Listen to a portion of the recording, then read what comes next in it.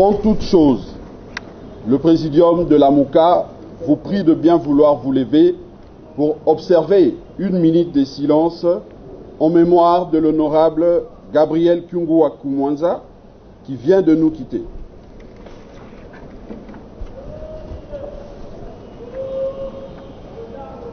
Merci. Le présidium de la MOUCA présente ses condoléances à sa famille biologique, sa famille politique ainsi que ses proches. Mesdames et messieurs, l'heure est grave.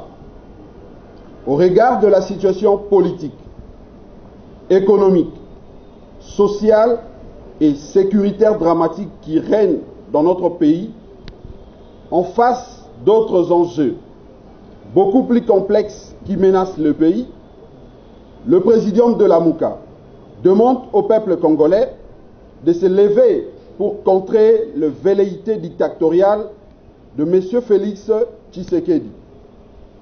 En effet, M. Félix Tshisekedi prépare à la fois le glissement du calendrier électoral et la fraude électorale. La MOUCA réaffirme haut et fort son attachement au respect de la Constitution de la République et exige sa stricte application, notamment de son article 73 qui stipule que le scrutin pour l'élection présidentielle de la République est convoqué par la Commission électorale nationale indépendante 90 jours avant l'expiration du mandat du président en exercice, même si, en l'espèce, c'est lui qui est en place les de fait. Il doit, par conséquent, être entendu que la MOUCA et le peuple congolais n'accepteront aucun glissement ni aucune fraude lors des élections de 2023. Le respect de la souveraineté du peuple n'est pas négociable. Pour ce faire, la MOUCA projette une marche dans les grandes villes du territoire national le mercredi 15 septembre 2021. Congolaises et Congolais, sortons massivement dans les rues et avenues de la République pour dire trois choses. Pas décennie politisée, pas déglissement, pas de fraude électorale. Avant la marche du 15 septembre prochain, le présidium de la MOUCA va prendre l'opinion nationale et internationale à témoin pour démontrer que les élections peuvent et doivent être organisées conformément à la Constitution de la République si toutes les parties prenantes s'y engagent résolument. Ainsi, la MOUCA présentera le vendredi 3 septembre 2021 au CEPAS sa proposition de calendrier électoral pour les élections de 2023 et le vendredi 10 septembre, la même proposition de calendrier sera présentée à la communauté estudiantine au collège Boboto. Le présidium de la MOUCA demande à tous les hommes et femmes politiques de se montrer à la hauteur des attentes du peuple dans le sens de trouver un consensus sur la loi portant organisation et fonctionnement de la CENI et sur les règles de jeu qui présideront à l'organisation des élections véritablement démocratiques et apaisées. La MOUCA prie instamment le responsable des confessions religieuses qui poursuivent d'autres intérêts que le salut du peuple de se ressaisir et d'avoir la crainte de Dieu ainsi que l'amour de notre peuple s'ils sont réellement des hommes de Dieu. Ils doivent cesser de s'aimer et d'entretenir la confusion, mais plutôt de nourrir la noble idée de l'intérêt général. Mesdames et messieurs, notre pays, la République démocratique du Congo, saigne de partout. Il est au bord du chaos. Il n'y a que ses enfants qui peuvent le sauver. Que Dieu bénisse la République démocratique du Congo et son vaillant peuple. Nous vous remercions. Je ne vois pas comment est-ce que nous, qui défendons les intérêts de la population, nous pouvons rester pendant que M. Félix Tshisekedi a décidé unilatéralement de euh, violer la Constitution. Il a commencé cette violation de la Constitution depuis longtemps. Et vous le savez, euh, en juillet de l'année dernière, il a mis euh, en place, il a fait des nominations à la Cour constitutionnelle, des nominations illégales. Il, il a continué dans cette illégalité, dans cette voie dictatoriale pour bousculer les institutions de la République. Et même, vous le savez, j'avais euh, prévu de passer les réveillons ou de la fête de la nativité à, euh, dire, à Boende. Je devais aller à Boende, Mbandaka et Lissala. Et quatre jours avant mon départ, pendant que tout était préparé, on a décrété qu'il ne devait pas avoir des réunions de plus de 10 personnes. On a compris. Mais dans l'entretemps, eux, ils ont fait des réunions.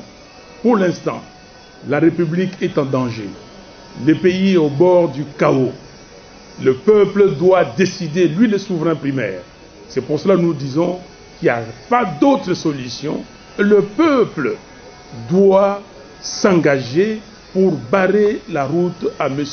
Félix Tshisekedi. Donc, cette marche-là, sur toute l'étendue de la République, notamment dans les grandes villes de la République, est prévue le 15 septembre. Alors, vous me dites que la CENI au point mort. Oui, mais la CENI au point mort, on marche à cause de ça. Parce que quelqu'un a décidé soit de faire euh, les glissements, provoquer les glissements sciemment, mais dans l'entretemps, on s'organise pour tricher. Parce que on vous dit qu'il est la défaite. Quelqu'un a voulu, quelqu'un a fait fabriquer les chiffres, monsieur est là, et il ne veut plus partir. Non, le peuple est souverain, l'article 5 de la Constitution le dit, et dans sa souveraineté, il doit décider. Et nous disons au peuple congolais, et nous disons à l'élite congolaise, que vous ne pouvez pas laisser les choses en l'état. Personne ne peut accepter que notre pays soit enterré. Vous voyez ce qui se passe partout ailleurs. On vous met sur pied un état de siège. Mais en fait, l'état de siège, c'est quoi? C'est une façon de liquider notre pays. C'est une façon de balkaniser le pays. Nous devons rester comme ça.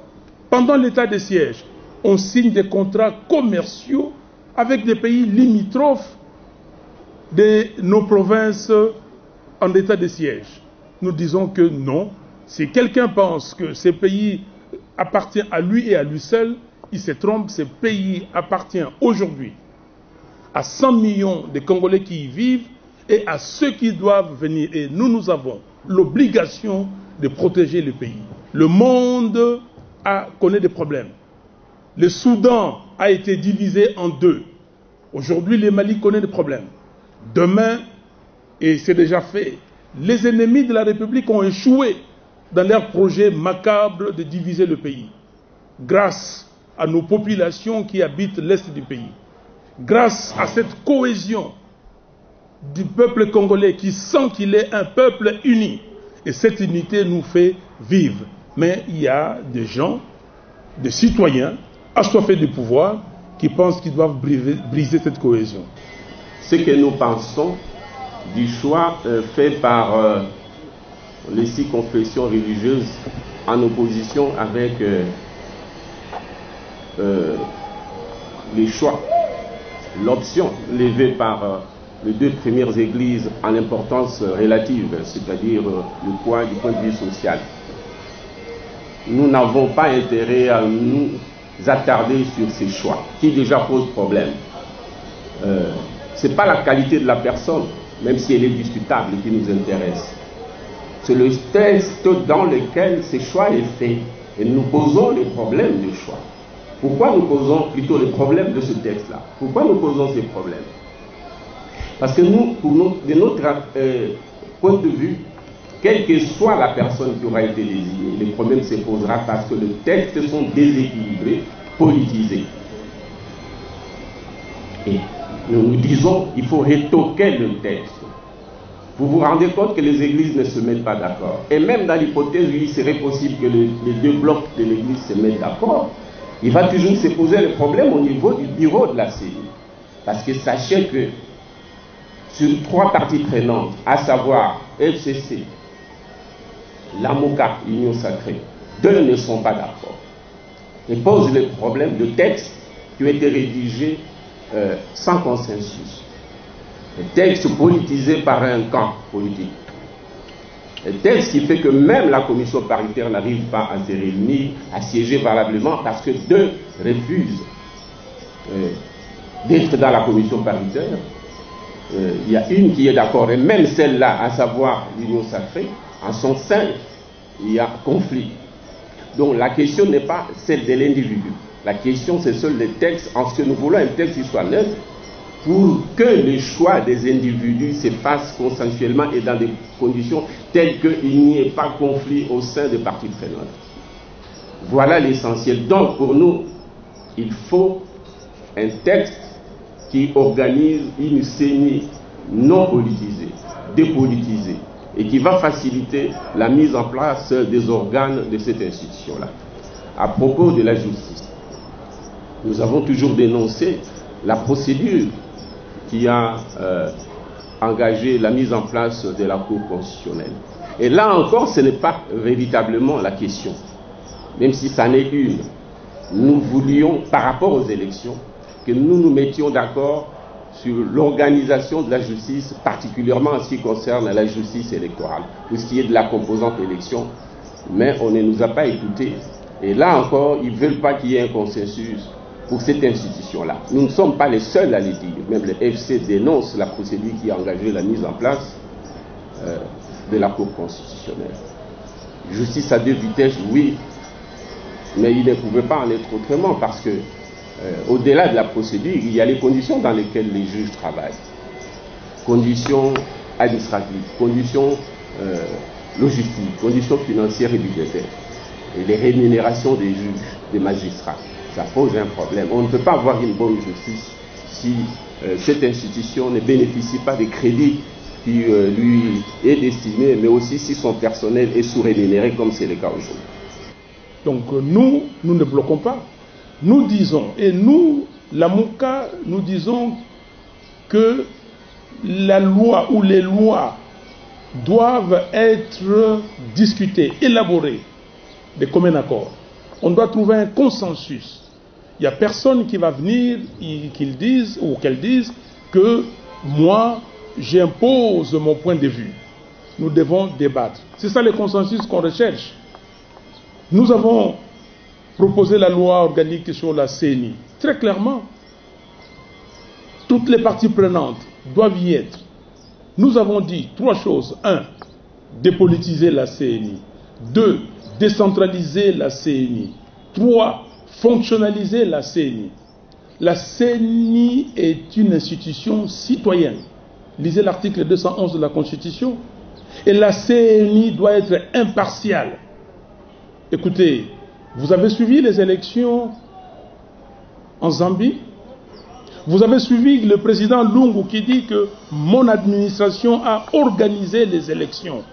Et je suis content que la CENI, la commission électorale de la Zambie, ait proclamé les résultats correctement et que cette centrale électorale ait été impartiale. C'est ce que nous cherchons.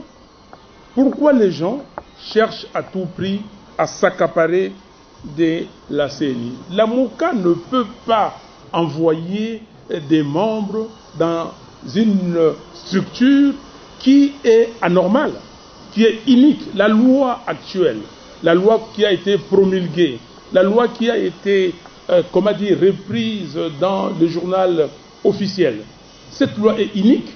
Cette loi, c'est la loi d'un monsieur qui a commandé son affaire et il va imposer aux autres citoyens. Donc nous nous disons, il faut retoquer la loi. il faut retoquer la loi. Et là, on vous l'a dit, parce que pour ceux qui pensent que ça va retarder euh, le processus, non. Nous disons que le 3, le 3, nous serons au CEPAS pour vous montrer les calendriers et dire que nous avons suffisamment de temps et nous pouvons faire les élections. La seule chose qu'il faut, la condition essentielle, c'est l'engagement de tout le monde. Un. Et la deuxième condition, c'est les moyens. Donc il faut mettre des moyens financiers pour qu'on aille aux élections. Donc, que cela soit entendu, la MOUCA ne peut en aucun cas envoyer des représentants dans euh, cette euh, CNI de M. Tshisekedi. Pourquoi vous avez six délégués de l'Union sacrée? Pourquoi six délégués Pourquoi quatre délégués de euh, ce qu'ils appellent l'opposition? Et pourquoi cinq délégués de la société civile? Pourquoi? Et la loi, même cette loi, quand elle était partie à l'Assemblée, ce qu'on a appelé la loi Lutundula, c'était 5-5-5. Pourquoi? Et nous, nous disons que la CNI doit être totalement dépolitisée. Et vous savez ce que cela veut dire. Le jour où le président de la CNI ou la personne qui va proclamer les résultats va euh, le faire, il, il faudra qu'il se débarrasse de tout carcan, de toute pression. Vous avez suivi encore, prenons l'exemple, nous ne sommes pas seuls dans ces continents africains, même si on l'accuse de tous les maux. Vous venez de suivre ce qui vient de se passer au Kenya. Le président Uhuru Kenyatta a décidé de changer la constitution. Et la Cour suprême là-bas, c'est la Cour constitutionnelle ici, lui a dit, monsieur, faites attention, on va vous traduire en justice. Vous n'avez pas le droit de le faire. On ne l'accepte pas. Mais est-ce que nous, nous sommes des sous-hommes, des sous-femmes pour accepter n'importe quoi Et c'est pour cela. Moi, je m'adresse à l'élite congolaise. Vous êtes l'élite. Parce que ceux qui mettent le pays en lambeaux, ceux qui créent le chaos, ceux-là, ils savent ce qu'ils font. Mais ceux qui ne disent rien, ceux qui n'arrivent pas à les contraindre, à les empêcher, eux aussi tuent le pays et ils vont rendre compte devant l'histoire. C'est nous qui avons demandé les discussions dès le départ à travers le plan de sortie des crises. Ces discussions euh, n'avaient pas pour objet d'aller, euh, de faire un dialogue pour aller au partage du pouvoir. C'était des discussions pour qu'on dégage un consensus sur les contenus des réformes et les réformes en rapport avec la loi électorale, c'est-à-dire la loi plutôt sur la CENI, et les réformes s'agissant euh, des autres institutions d'appui à la démocratie, y compris euh, euh, les réformes sur le plan judiciaire. On ne nous a pas écoutés. Aujourd'hui, on serait dans un consensus puisque nous serions devant une institution qui allait assurer les suivis électoraux et d'autre part, tu sais qu'il et son groupe allaient rester, continuer avec le pays. Nous avons on a mis une croix par rapport au passé. Pour nous, c'est la vérité des urnes pour 2024, 2023.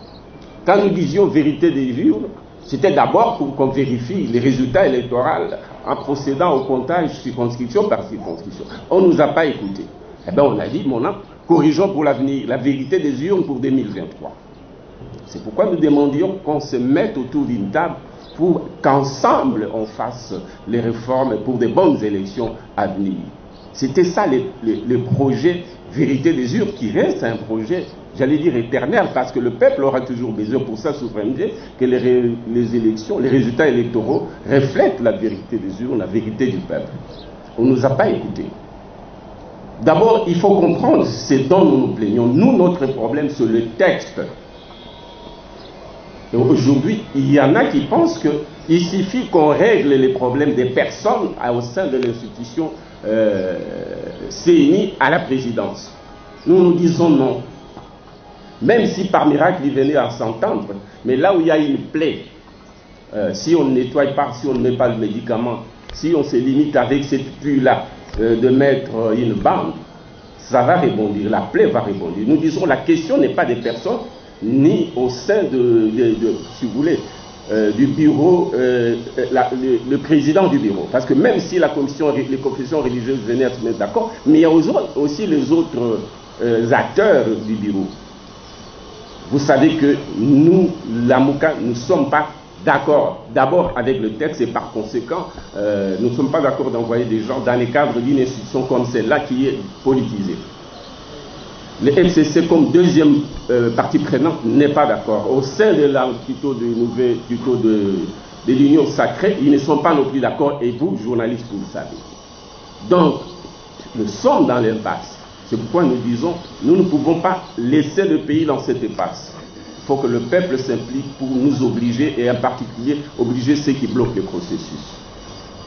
Donc, les églises disent plus ou moins la même chose, mais ils sont au niveau d'une personne qui doit animer la CENI. Mais les fonds des choses, nous pensons qu'ils sont suffisamment brillants, c'est quand même nos clergés. Ils savent que la question profonde, c'est celle de texte qui a pour conséquence que les deux parties prenantes sur trois ne sont pas d'accord, et parce qu'ils contestent la manière euh, dont euh, le texte mettant en place cette constitution, ce texte a été rédigé en dehors de tout consensus. Voilà ce que nous disons.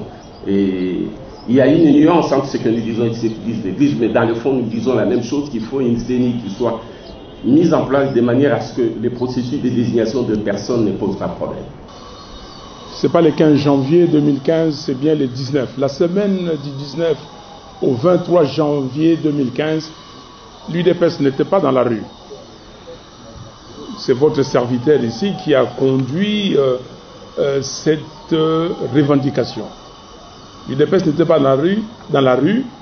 Nous étions là dans les cadres de la dynamique avec les autres qui ne sont pas avec nous aujourd'hui. Mais c'est nous, pendant toute une semaine, nous avons exigé le retrait euh, de cette condition qui était, euh, il fallait avant tout le recensement avant d'aller aux élections. Et heureusement que le président Kengo, président du Sénat de l'époque, six, cinq jours après, a dit au Sénat, en Lingala, et il a calmé la population congolaise en disant Tolongoli Yango, recensement Gozalate. Et c'est comme ça que le peuple s'est calmé. L'UDPS n'était pas dans cette marche-là. Rappelez-vous, il y a des gens qui sont morts. C'est suite à ça qu'on parle de charnier de Maluku. Vous connaissez le charnier de Maluku L'ancien secrétaire général de l'UDPS, M. Mavungu, à l'époque, vous êtes témoin, avait dit non, l'UDPS ne participe pas à cette manifestation-là. Vous parlez de l'année dernière, le 13 juillet. Mais le 13 juillet, c'est la Mouka qui était dans les rues avec euh, les jeunes des mouvements citoyens, notamment euh, Lucha et Filimbi. Ce n'étaient pas les autres. C'est la Mouga. Donc, euh, ici, la question, ce n'est pas les individus, vous mobilisez ou pas. Vous savez, je ne mobilise pas depuis hier. Je suis là depuis longtemps. Le 16 février, j'étais là. Le 16 février à la conférence nationale pour réclamer la réouverture de la conférence nationale, j'étais là. Nous avons été à la primature quand Tshisekedi a été évincé comme Premier ministre. Pour le remettre, nous avons subi tout ce qu'on a subi, et vous le savez. Il y a des gens qui parlent aujourd'hui. Qui était là? Qui peut venir ici? Moi, je peux vous citer des gens qui ont marché. Si on me parle de Jacques Chabani, je dis oui. Mais qui d'autre? Avec qui nous avons marché ici? Donc ici, la responsabilité, c'est le peuple. Nous ne sommes que le porte-étendard du peuple.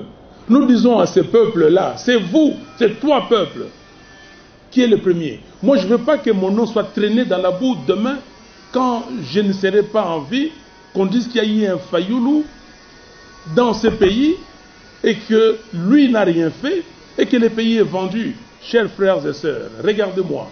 Je vous regarde, vous, yeux dans les yeux. Ce pays est en train d'être liquidé. Et les gens ont trouvé quelqu'un. Et je l'ai dit. Ils ont trouvé M. Félix Tshisekedi, faible qu'il est, pour liquider ce pays. Est-ce qu'on va accepter ça?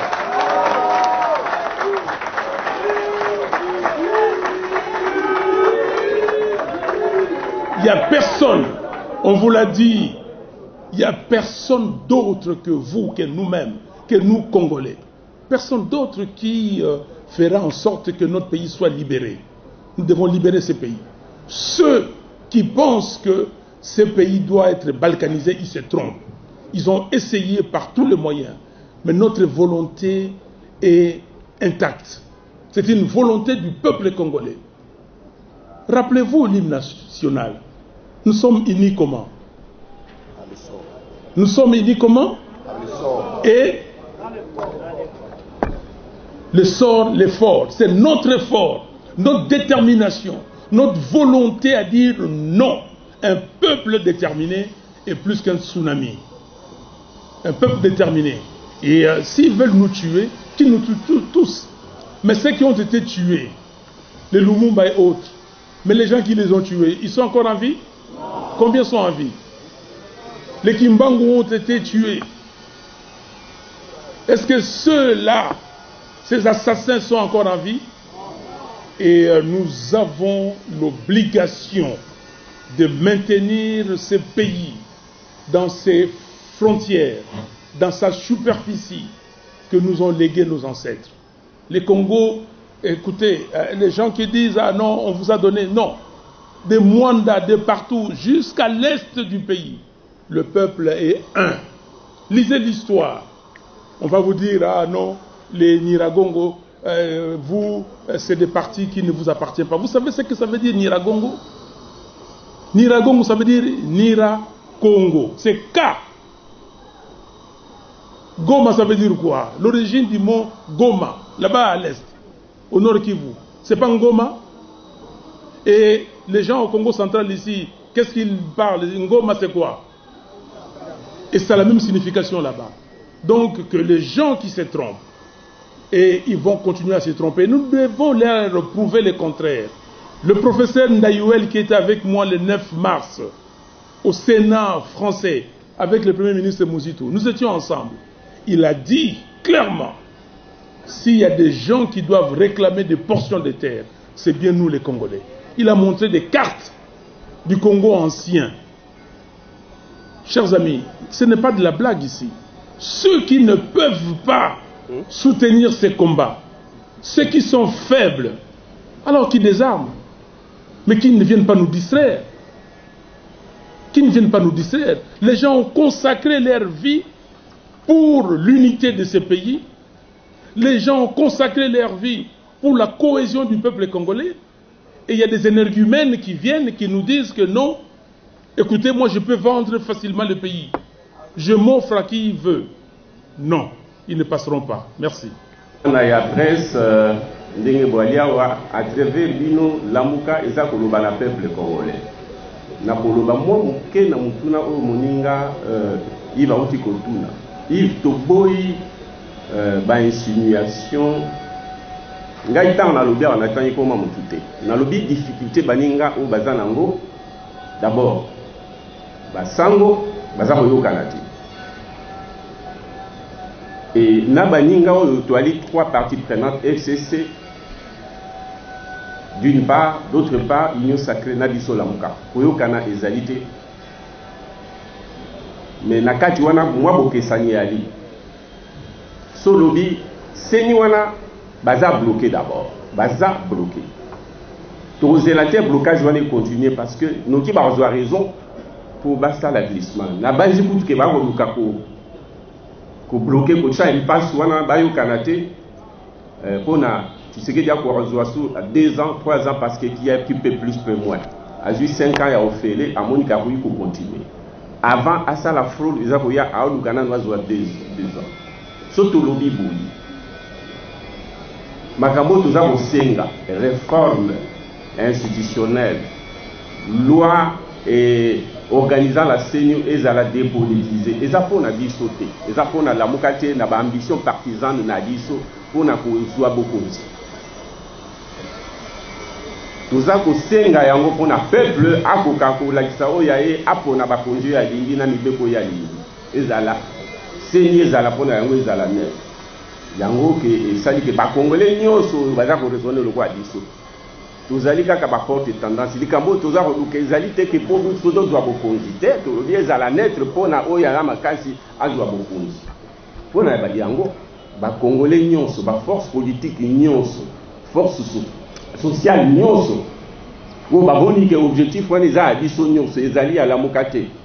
Mpe toali biso moko te tosala revendication parce que société civile eya na kati na biso tosangana kosangana. Eza bloc te bon bloc na oyo toya kokutana tosangana kati ya peuple. Torevendike po tozwa élection malamu. Po peuple ntango akopona biso ntango mosu ye moko akoka kosangisa biso. Me mpo na lelo eloko moko oyo tosengeli tolanda biso nyonso elongo me na kati ya peuple na baforce sociale moto na moto epai ye azali atako tokutani esika moko toali bana congo yango nde toza kosenga. Tolingi élection malamu na 2023 toboyi glissement peuple akolinga yango lisusu te. Eza bongo te? Parce que boyebi kati na biso bokabwana ezali. Tokomi koyinana. Likambo oyo ezalaka te. C'est vrai que entre bana ya mama moko bana ya famille moko koswana ezangaka te kobundaka ezangaka te ezangaka te mais oyo tokomi koyinana oyo nzala eza kokotela biso jeunesse misala ezali te. Este ya mboka bitumba nde bitumba bato baza kokufa. Conséquence ya nini ya illégitimité? Il faut tosukisa illégitimité wana. Peuple asukisaki yango na 2018 décembre 2018 tosengaki vérité désir no ntango wana baboyeli biso. Tobino tokotumba mboka te. Mboka yango mpe esilaka te peuple asilaka te tobongisa mpo na mbala eza koya. Tolobi tosangana ekotinda biso tose réconcilie na peuple mpo na mbala ya nsima tozongela su te baboyeli biso tolobaki kaka toyokana consensus mpo na euh, euh, loi électorale loi ya, pouvoir judiciaire na ya bainstruction ya appui ya démocratie. Baboyeli biso. Zoka nde lelo tokoki kozala deja bomoko. Bango bayokamba mboka biso tozolandela na bango makambo etali processus électoral mpona tose réconcilie na peuple 2023 mpo peuple akoma souverain bakontinue konyokola biso na bapetit pays voisin banyokola biso eza normal. Mpo totelema na balabala tolakisaka toali mibali tozali peuple. Toza kosenga révolution to nini te tosengi kaka. Booblige biso tokutana toyokana mpo na élection eza koya ezala malamu na ndenge ke grâce élection malamu réconciliation ezala légitimité ezala na mboka congo azwa bokonzi na ye peuple na biso azala souverain mpo tokende tobanda kotonga oyo ya biso ekolo. Eza bongo te donc tosengi peuple ase mettre debout. Biso nyonso baforce sociale baparti politique bahomme femme ndenge tolobi na déclaration wana de bonne volonté tokende liboso tosenga réconciliation autour ya consensus mpo na élection malamu grâce na baréforme institutionnelle. Merci beaucoup. Biso tolobisi bino problème ya nkombo eza problème na biso tolobi ni kadima ni kawata ni qui que ce soit ok? Moto moko te ça c'est pas notre problème biso tolobi eloko ya liboso il faut loi ya malamu ok? Soki tose mettre d'accord mpo na loi wana nsima totangi bakombo bato bakotia bakombo. Mpo na lelo oyo peuple ayeba ke mboka ezali kobeba e peuple fo asala angele ye moko na biso tokɔta na kati ya likambo wana mpo bato wana toyokisa bango soni. Merci